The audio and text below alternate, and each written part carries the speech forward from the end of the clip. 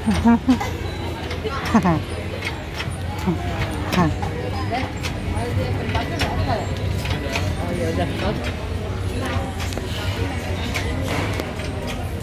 dulu kan di gerobok ya, dimasukin es-es gitu kan. Iya, ya, es goyang dulu tuh gitu ya, di gerobok kan, dimasukin. beda ada juga minus siapa kacang hijau apa es hijau apa?